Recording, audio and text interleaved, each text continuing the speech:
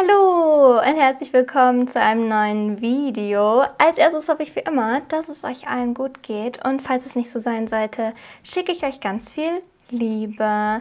Ja, völlig ungewohnt. Heute ein Video auf einen Samstag. Ich meine, wenn du das jetzt gar nicht auf einem Samstag siehst, dann ist es vielleicht für dich gar nichts Ungewöhnliches. Aber normalerweise erwarten euch ja montags, mittwochs und freitags hier Videos auf meinem Kanal. Äh, momentan immer nur zweimal die Woche, aber ansonsten regulär dreimal die Woche. Also falls du meinen Kanal noch nicht abonniert haben solltest und äh, in Zukunft keine Videos mehr verpassen möchtest, gibt eigentlich, wie gesagt, drei Videos hier jede Woche immer rund um das Thema Beauty und Make-up. Und ich würde mich riesig freuen, wenn du dann immer mit dabei bist. Diese Woche war alles anders. Meine Allergie hat mich komplett ausgenockt und alle Videos, die ich noch hatte, konnte ich nicht schneiden. So, das ging absolut nicht. Deswegen heute, damit ihr diese Woche auf jeden Fall mindestens ein Video bekommen habt, auf einen Samstag.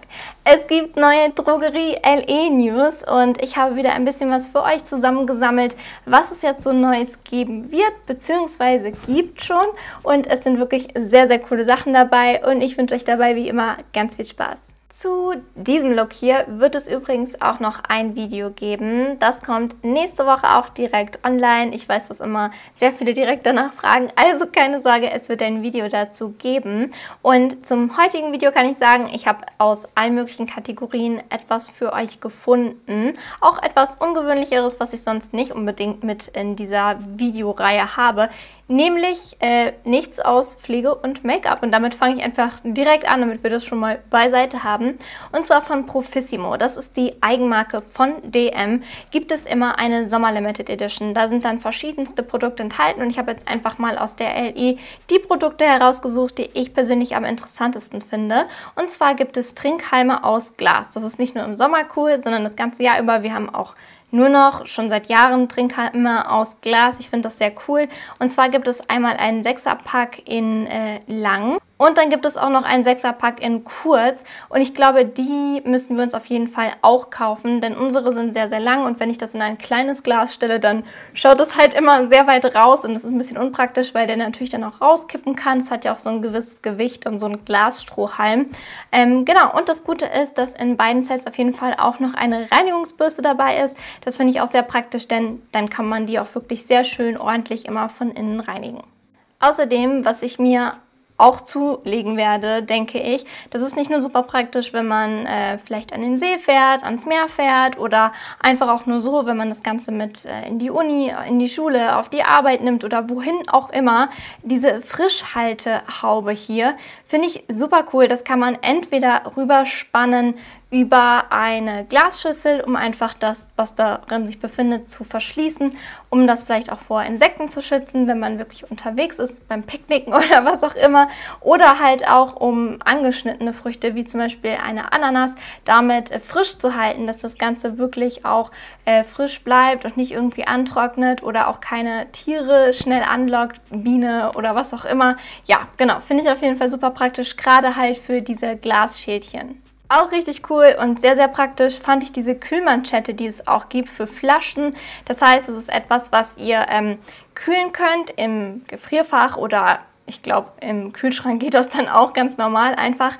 Und dann könnt ihr eure Flasche da reinstellen und wenn ihr das Ganze dann einfach mitnehmt, bleibt euer Getränk länger kühl. Einfach so eine Art Thermoskannen-Effekt, aber für Glasflaschen zum Beispiel oder für jede Art Flasche, die einfach da reinpasst.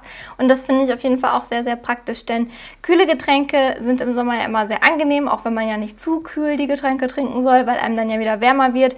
Ich trinke trotzdem sehr gerne kühle Getränke im Sommer und finde das auf jeden Fall sehr praktisch. Und was ich auch immer sehr süß finde, sind Eiswürfelformen. Es gibt hier auch so eine Silikonform für Eiswürfel. Und ich habe zum Beispiel auch super viele Backutensilien aus Silikon. Wenn man sich das einmal anschafft, hält einem das unfassbar viele Jahre. Deswegen finde ich das einfach sehr cool. Und hier gibt es halt welche, die dann ähm, hinterher die Form von einer Zitrone haben, was auch super süß ist. Und das Coole ist ja auch, dass man zum Beispiel auch Säfte halt einfach einfrieren kann, um das dann wieder in seinen Saft reinzugeben, um das kühler zu machen. Oder auch Kaffee kann man einfrieren als Eiswürfel, um das dann in seinen Kaffee zu geben, damit er nicht verwässert. Bei einem Eiskaffee zum Beispiel finde ich auf jeden Fall sehr praktisch sowas. Und ich glaube, wenn ihr das nicht besitzt, ist das auch etwas, was sehr cool cool ist im Sommer, wenn man sich Eis selber machen möchte, statt immer irgendwo Eis kaufen zu gehen. Oder vielleicht achtet ihr auch darauf, nicht äh, zu viel Zucker zu euch zu nehmen oder habt vielleicht irgendeine Allergie oder habt einfach Lust, äh, Spaß daran, sowas selber zu machen. Dann sind diese Eisformen sehr cool, indem man halt wirklich einfach alles Mögliche hineingeben kann, um sein Eis selbst zu machen. Wassereis, Fruchteis, Joghurteis, alles Mögliche nach seinen Wünschen und Belieben. Das finde ich einfach sehr, sehr praktisch. Und zum Schluss habe ich dann noch ein Kühlpad gefunden. Ich finde, das ist auch so ein Standardprodukt für den Sommer einfach. Da steht drauf, keep it cool. Das finde ich auch irgendwie ganz süß. Kann man natürlich auch für alles Mögliche nehmen, für sich selbst. Oder auch für irgendwelches Essen, was man in der Tasche hat, damit es noch länger gekühlt bleibt. Ist auf jeden Fall auch etwas sehr Praktisches für den Sommer.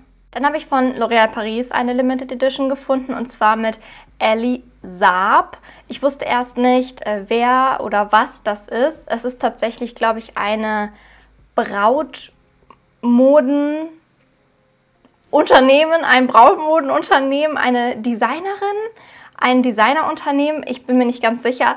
Auf jeden Fall irgendwie so in die Richtung. Ich habe nämlich nur wunderschöne Kleider gefunden, als ich danach gesucht habe, weil ich gerne wissen wollte, was das ist. Und da gibt es jetzt auf jeden Fall mit L'Oréal Paris eine Kollektion.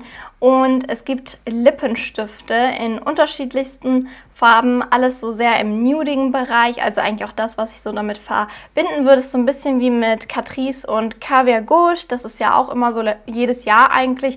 Und die Farben und das, was da ausgesucht wird, passt einfach immer sehr zu diesem Natural Beauty Trend-Thema, genau. Und außerdem gibt es noch eine Wimperntusche in der Limited Edition. Auch natürlich super praktisch, nudige Lippen, schönen Wimpernaufschlag, passt halt auch einfach perfekt zur Kollektion. Und außerdem gibt es dann auch noch Lipgloss in der Kollektion. Auch das ist natürlich etwas, was total dazu passt. So zarte Lippen zu dem ganzen Thema. Ja, ist auf jeden Fall alles in sich geschlossen, sehr, sehr schön passend zu dem, was man da auch repräsentieren will. Das finde ich immer schön, wenn man da ein geschlossenes Konzept erkennen kann. Dann habe ich wieder von NYX Limited Editions gefunden. Und das finde ich immer so ein bisschen irreführend, weil NYX relativ häufig ähm, Sets auf den Markt wirft mit Produkten, die es schon gibt und es dann eine Limited Edition nennt. Das kommt, wie gesagt, relativ häufig vor, deswegen verliere ich da manchmal auch den Überblick. Und ich habe jetzt zwei verschiedene Sets gefunden, nämlich einmal das Lips Never Lie Nude Set und enthalten sind hier einmal einer von den Butterglossen, dann einer von den festen Lippenstiften aus der Suede oder Suede Reihe, ich weiß immer nicht genau, wie man das ausspricht, und dann noch ein passender Lip Liner dazu. Finde ich an sich ganz cool. Es ist halt ein Pack, wo alles zueinander passt und gerade so als Geschenkset oder so finde ich sowas immer sehr süß. Ähm, Nude-Töne, da kann man halt auch wirklich selten was verkehrt machen. Ich denke, die meisten Leute, auch wenn sie Farbe mögen, mögen zusätzlich auch Nude und Leute, die keine Farbe mögen, mögen meistens Nude. Also passt das schon irgendwie. Nur sind es ja wieder Produkte einfach aus dem Standardsortiment in einer Extra-Packung. Also eigentlich nichts Besonderes. Und dann gibt es noch ein Set, wo ich tatsächlich alle Produkte aus diesem Set besitze, weil ich den Adventskalender von NYX von 2019 hatte. Und zwar das Lip Set Prep and Treat. Hier ist enthalten einmal das Lip Oil, das Lip Scrub und der Lip Balm aus der This Is Everything Reihe. Ich finde alle Produkte aus dieser Reihe sehr gut. Ich muss aber ehrlicherweise zugeben, dass ich mir nur, wenn überhaupt, das Lip Oil nochmal kaufen würde, weil 15 Euro für diese drei Produkte finde ich wirklich sehr teuer. Auch wenn sie gut sind, finde ich, sind sie nicht so gut. Also es gibt auch, glaube ich, von Essence Produkte, die in diese Richtung gehen oder von Catrice und die sind dann ja doch nochmal ein bisschen günstiger auf jeden Fall. Kommen wir jetzt wahrscheinlich aber zu der Limited Edition, weswegen die meisten von euch auf das Video geklickt haben. Ich kann es verstehen, es geht um die Sommer Limited Edition von Essence und das Design von der Palette ist einfach so unfassbar süß. Es geht um die Vintage Beach Trend Edition von Essence. Die gibt es momentan noch nicht. Es wird sie von Mitte August bis Ende September geben. Wir müssen uns also da noch ein bisschen gedulden, bis wir das Ganze dann auch erwerben können. Aber ich bin froh, dass ich euch heute schon einen kleinen Sneak Peek dazu geben kann.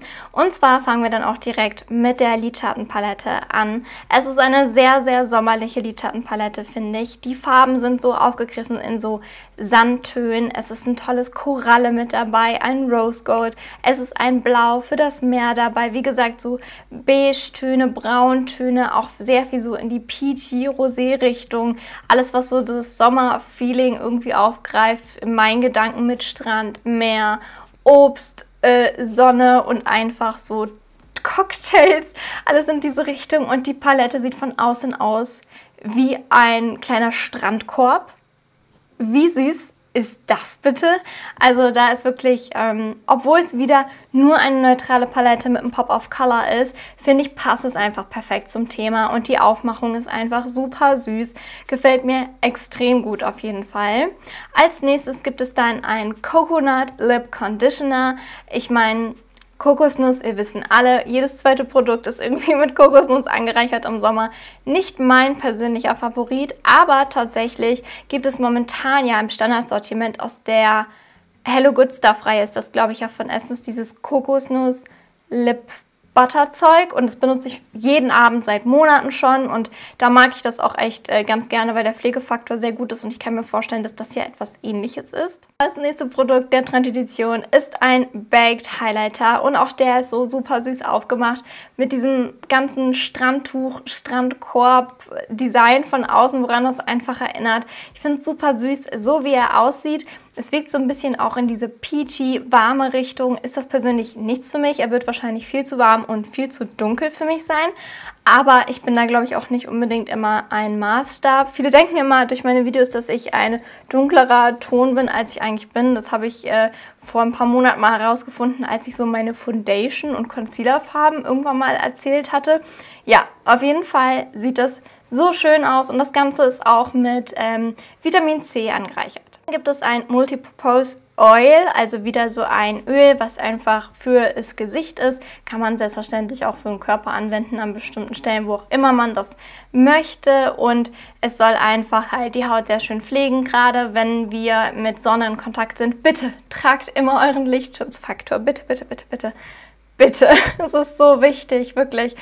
Verbrennungen von der Sonne, auch Jahre später könnt ihr damit echt Probleme bekommen. Bitte passt einfach auf und ähm, versorgt eure Haut zu, zusätzlich immer noch mit ganz, ganz viel Feuchtigkeit. Gerade wenn ihr euch lange in der Sonne aufgehalten habt, trotz Lichtschutzfaktor, ist das so wichtig und das ist halt ein sehr schönes Produkt. Und dann geht es weiter. Es gibt einen Make-up and Baking Sponge. Den finde ich an sich jetzt nicht so besonders, weil Make-up Sponge gibt es, glaube ich, auch im Standardsortiment von Essence. Aber ich finde die Form von dem richtig cool. Der hat nämlich auch so eine ganz große, glatte Fläche und ich finde, das sieht man nämlich nicht so häufig in der Drogerie. Und wenn der jetzt auch noch schön weich ist und so weiter, er soll nämlich dafür gedacht sein, halt nicht nur Foundation einzuarbeiten, sondern halt auch Creme-Highlighter oder Blush und äh, Creme-Bronzer, diese Geschichten und deswegen hat er halt auch unter anderem diese scharfe Kante, damit man mit der weichen halt das Produkt einblenden kann und mit der äh, Kante dann vielleicht nochmal nachkorrigieren kann, vielleicht auch mit Puderprodukten und das finde ich wirklich auch sehr durchdacht. Und das nächste Produkt, ich werde da nicht dran vorbeigehen können. Ich werde es nicht auf meinen Nägeln benutzen, auch wenn es Nailsticker sind, sondern ich werde mir das auf jeden Fall mindestens zweimal holen, um damit so super süße ähm, Instagram Close-Up-Looks zu schminken. Ich liebe das ja, so artistische Sachen an meinem Auge zu schminken und das schreit einfach nach mir. Ich finde, das sieht so unfassbar süß aus. Das sind so Muscheln in allen möglichen Varianten. Fische, ein Sonnenschirm, ein Seepferdchen, kleine Herzen, ein Anker. Es ist einfach so unfassbar süß. Und ich finde es auch schön, dass wieder an Nagelsachen gedacht wurde. Denn ich habe jetzt so von euch so ein bisschen durchgehört, dass viele von euch tatsächlich vermissen, dass es wieder auch besondere Nageldinge in Limited Editions gibt. Ich weiß, dass es das früher mehr gab, als es mittlerweile gibt. Und deswegen freut ihr euch vielleicht auch jetzt, wenn ich euch sage, es wird auch einen Nagellack in dieser Trendedition geben. Und zwar einen aus der Shine Last and Go Gel Nail Polish Reihe. Äh, es wird die Nummer 33 hier geben. Und der ist halt perfekt auch, um da einfach die Nagelsticker, glaube ich, richtig gut zur Geltung drauf zu bringen. Es ist so ein Weiß, ein ganz besonderes, so ein Perlmuttweiß. Finde ich sehr schön. Ist halt auch eine tolle Farbe für den Sommer auf den Nägeln, Fußnägeln, überall. Und mit diesen goldenen Nagelstickern drauf sieht das, glaube ich, richtig schön aus. Und dann gibt es noch äh, das letzte Produkt, was für mich persönlich nichts ist und ich glaube für alle, die sehr stark geschädigtes und gefärbtes Haar haben, ist das nicht unbedingt was, nämlich das Sea Salt Hair Mist. Ähm, Finde ich aber ein bisschen schwierig. Es soll Kokosnussgeruch haben, aber dieses, also es soll mit hydrierendem Pathenol sein, aber eigentlich ist sowas doch eher austrocknend für Haare. Also ich finde sowas ein bisschen schwierig. Ähm, genau. Das war jetzt also die Limited Edition von Essence, auf die ich mich auf jeden Fall sehr, sehr freue. Jetzt geht es weiter mit Adele. Und zwar haben, äh, gibt es von Adele jetzt wieder neue künstliche Fingernägel. Da gibt es ja immer in regelmäßigen Abständen neue Designs. Und auch jetzt gibt es wieder Limited Edition. Und zwar einmal die Variante Cherry Red. Ein wunderschönes Kirschrot, total toll. Dann finde ich auch sehr cool die Rainbow French Nails, also ein ganz normales French Design, aber halt in Regenbogenfarben. Mega süß. Ähm, und das Gute ist natürlich, dass da auch immer für jede Nagelgröße so ein bisschen was dabei ist. Natürlich kann das nicht für jeden passen, aber ich glaube, da ist immer schon eine ziemlich große Auswahl dabei. Finde ich total toll, habe ich so auch noch nicht gesehen. Ganz oft sieht man ja so verschiedene künstliche Nägeldesigns ähm, immer mal wieder, aber das finde ich schon besonders. Dann gibt es die Richtung Lovely Lavender und das sind halt einfach, wie der Name schon sagt, schöne lavendelfarbene Nägel. Finde ich auch schön, laufen so ein bisschen äh, spitzer auf jeden Fall zu. Und ich glaube aber, das ist mein Favorit, dass äh, die Dripping in Gold Variante, wo einfach so wunderschöner ein Ombre-Verlauf mit Glitzer ist, mit so einem durchsichtigen Nageldesign sonst. Und das finde ich auf jeden Fall richtig schön. Also ich trage keine künstlichen Fingernägel, aber das finde ich schon sehr, sehr ansprechend. Dann habe ich noch neue Produkte von Rivaldi Look gefunden. Zwar keine Limited Edition, aber komplett neu. Die Vegan Nails und die sind mit 85% natürlichen Inhaltsstoffen und halt auch vegan. Und da gibt es jetzt äh, einige richtig schöne Farben, vor allem auch dieses ganz entsättigte Mint grün.